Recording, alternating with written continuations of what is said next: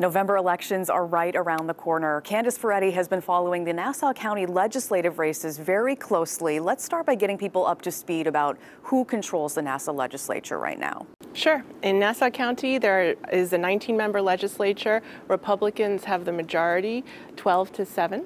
Gotcha. So right now, this year, why is this more significant maybe than other years in the past? What's different?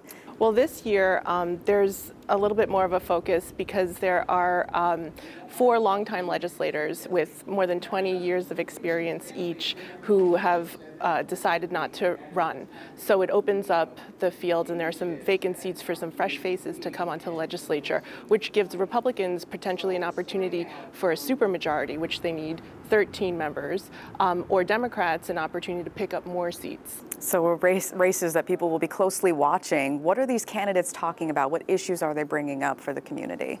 Some of the issues that they are talking about, you hear Republicans talking a lot about their stance against Governor Hochul's affordable housing proposals. You hear them talking a lot about making sure that county resources aren't used to house and care for asylum seeking, seeking migrants. You hear Democrats talking a lot about stricter gun control laws, red flag laws in Nassau County, and you also hear them talking a lot about the abortion rights issue, again, women's rights. Yeah, a lot for voters to take into consideration, and Election Day will be here before we know it. Yep. Thanks, Candice. Sure.